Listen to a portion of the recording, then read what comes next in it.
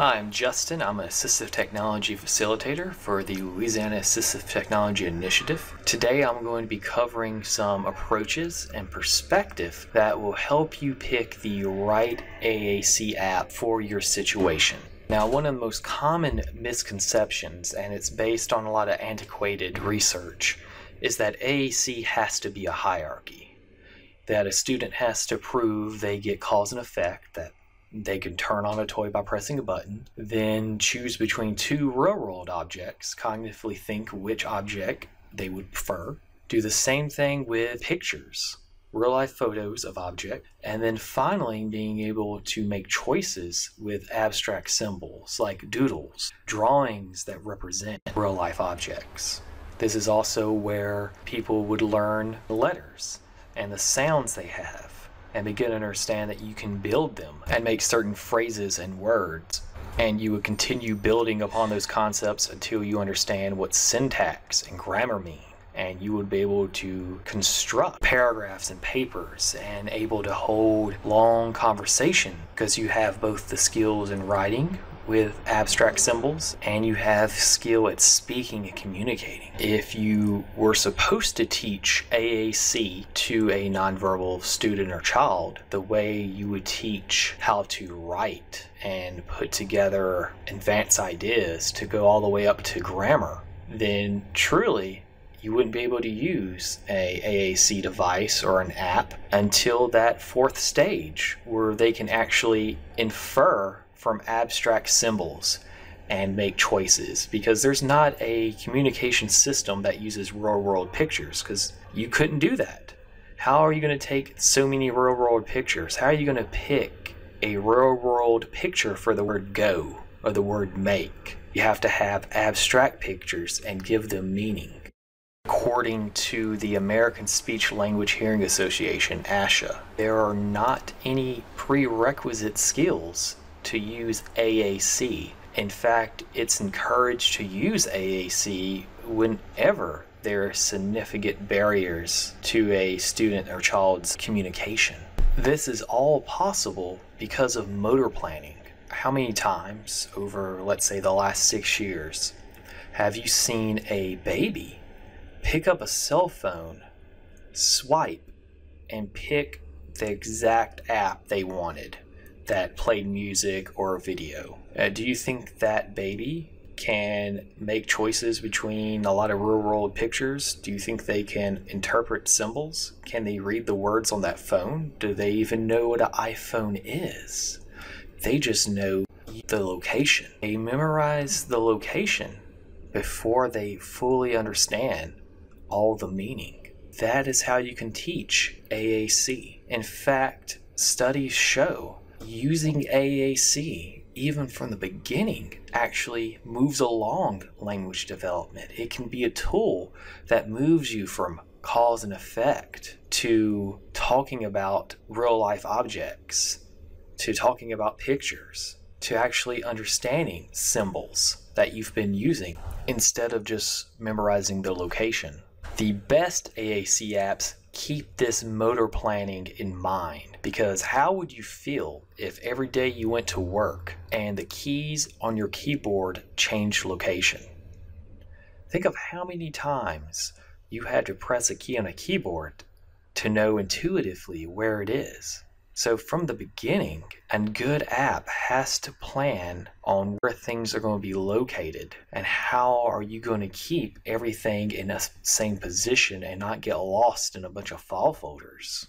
AAC apps also have to balance this motor planning with core vocabulary. And by core vocabulary, I mean 80% of what we say a day because that very first page needs to be the most common words you use. You can't have 5,000 words on the first page. How could you find anything? Instead, you want words you can use in every environment. And a good example is contrasting it with fringe. Here are some fringe vocabulary words and phrases car, home, bathroom, Miss Cindy. These are mostly nouns, words you wouldn't use all during the day, but could be imported at select times and in certain environments. Um, would you say home at home? Probably not, or certainly not nearly enough. It's not really what you would call front page material on a device. Instead, core vocabulary gives us so much more meaning and detail and versatility because it's mostly verbs, it's action, it is meaning. Maybe instead of saying Miss Cindy, what we really want to say is I need help. And instead of just teaching the word bathroom, the word go can mean so much. Go can mean you're starting. Go means you want somebody to go away. Go means you gotta go to the bathroom. Go means you want to go someplace else in the building. So fringe words are important, but core words are how you actually get meaning from those fringe, and they're the focal point for good AAC apps.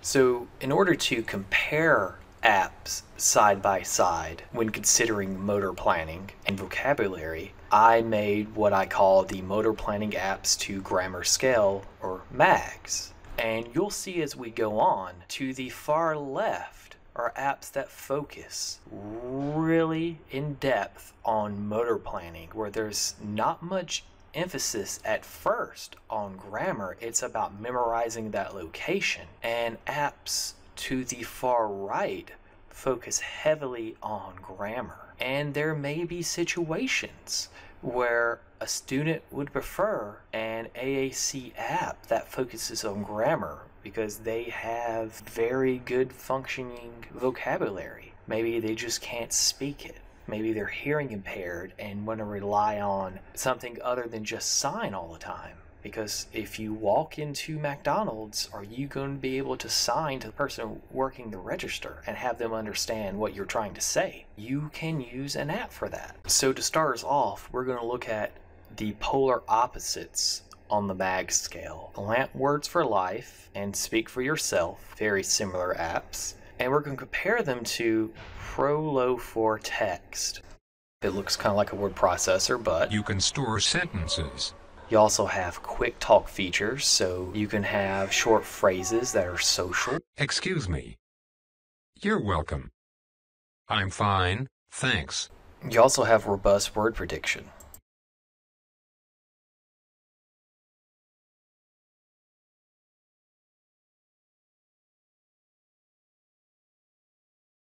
You also have word prediction.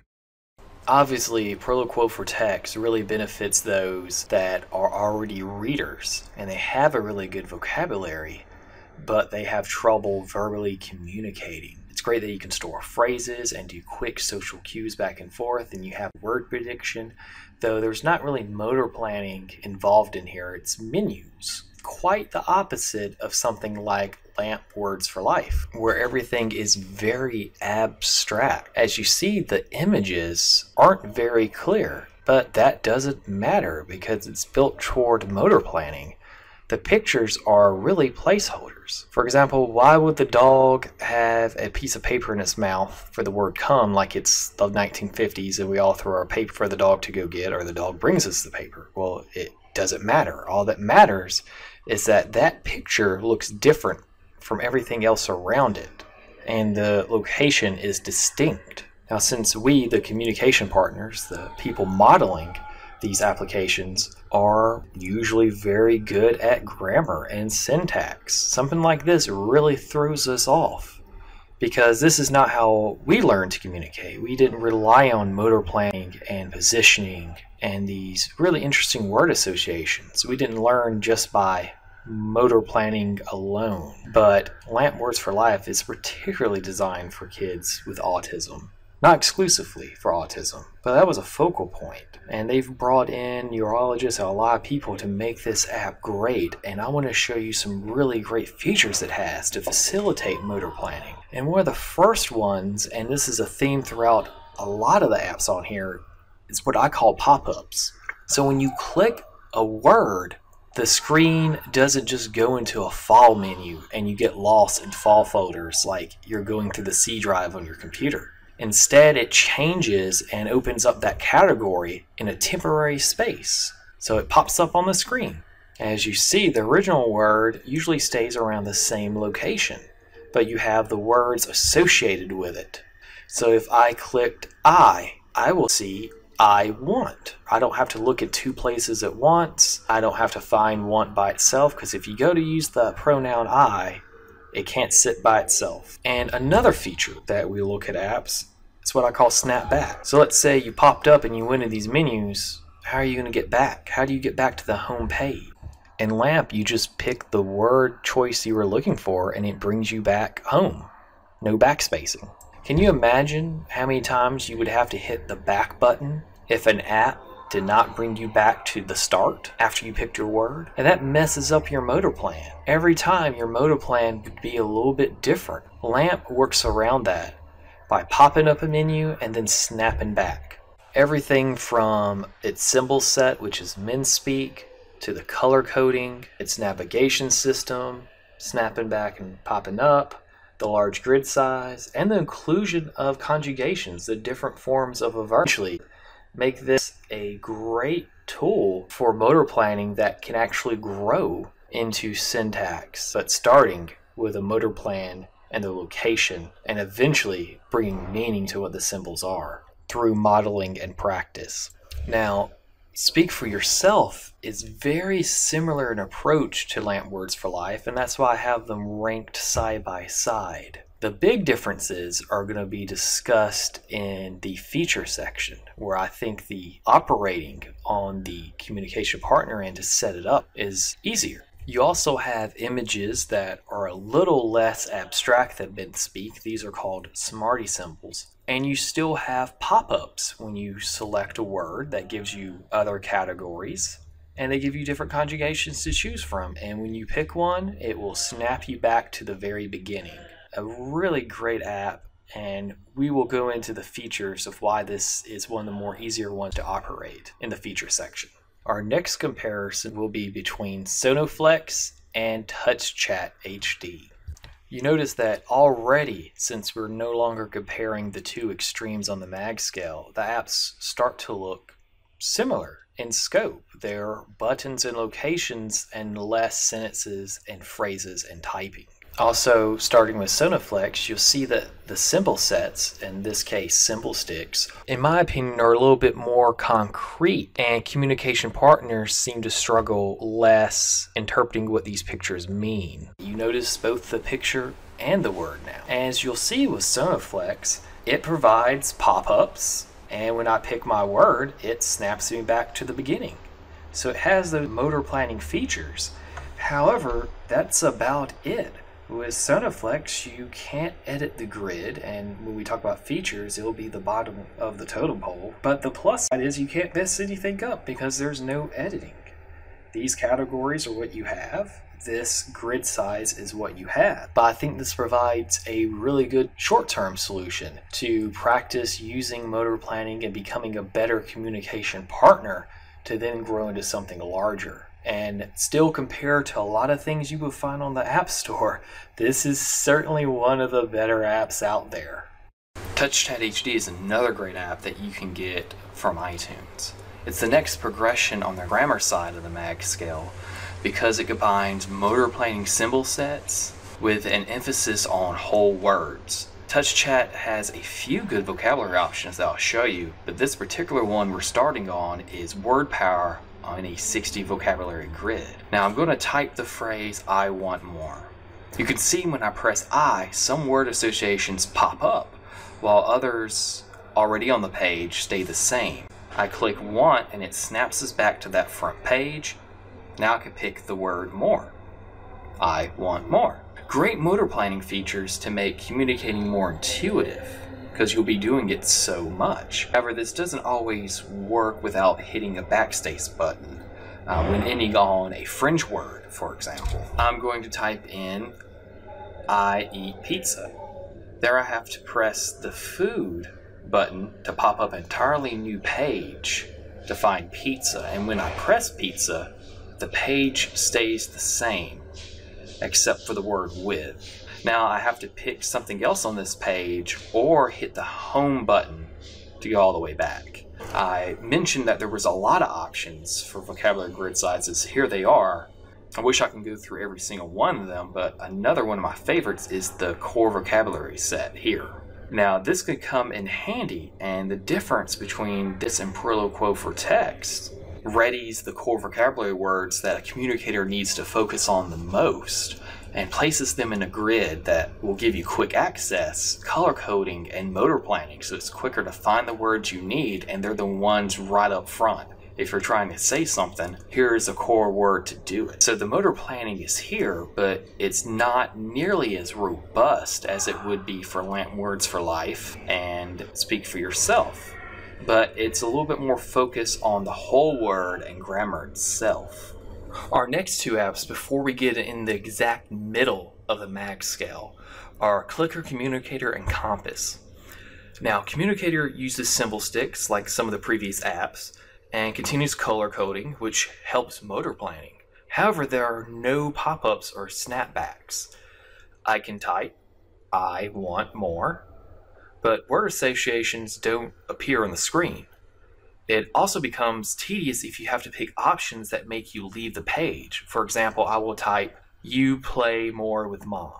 To find play, I have to go into the action folder. Now, I can't get back unless I hit the home button and I could potentially get lost in all these other subfolders within this folder. Now to find with, I need to enter another folder, which is called words.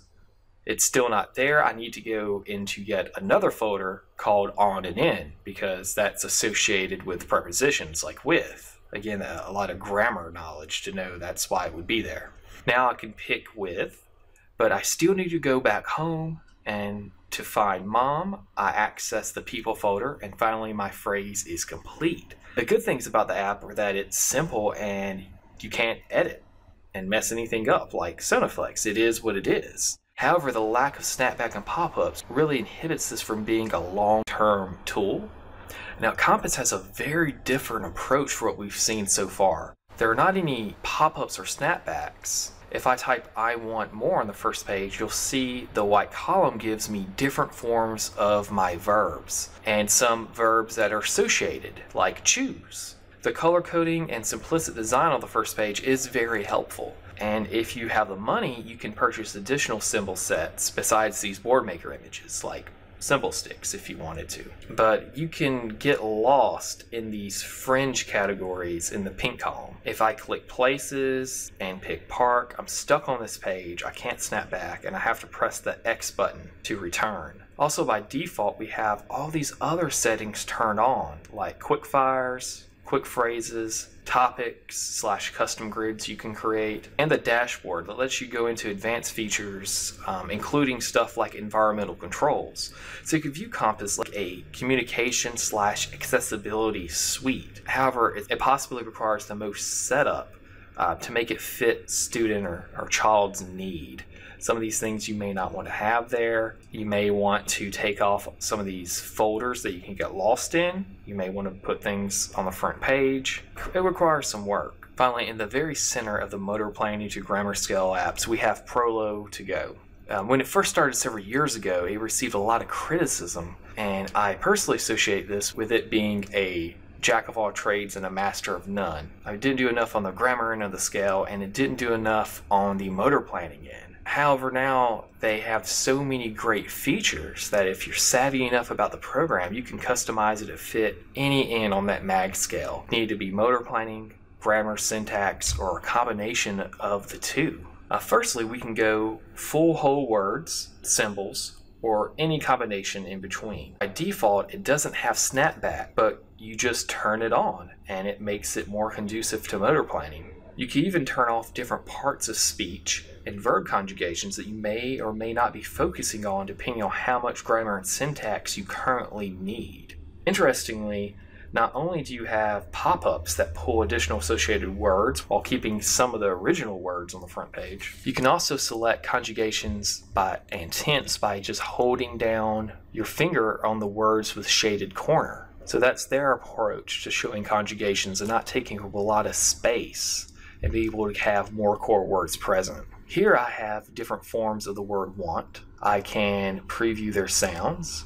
And I can also pick a pronoun type or let it narrow it down. When I pick you, you see wanted, want, and will want. And if I press not, you see the correct grammar choices for not wanting something with that pronoun. Now the good news is, as I pointed out, you can change this in the settings and take out grammar altogether and conjugations altogether. I really like having the choice to do that in my app, besides having to purchase one that does one or the other. The last app I want to talk about in isolation is Avaz. It's the only app on this list available on Android, and the only one that I would recommend on Android. I don't really have a whole lot to say about it. You have color coding, SymbolStix as the symbol set, and you do have core vocabulary words. Those three reasons alone make it the best on Android devices. However, there aren't any snapback features, pop ups, and the grid size is limited to only 24 locations max. I would consider it a starter app like Communicator or Sonoflex, but without as many strengths. If you're only able to use Android, this is probably the best choice you currently have out there. Now let's discuss features to consider in all apps regardless of the mag scale. Firstly, vocabulary and grid size is very important because if you start off with a small grid and then go to a larger grid, everything changes, including your motor plan. Ideally, you want a large grid size with an option to hide something for later. Our best grid sizes are our Proloquo2Go, Touch Chat HD, Lamp, Compass, and Speak for Yourself.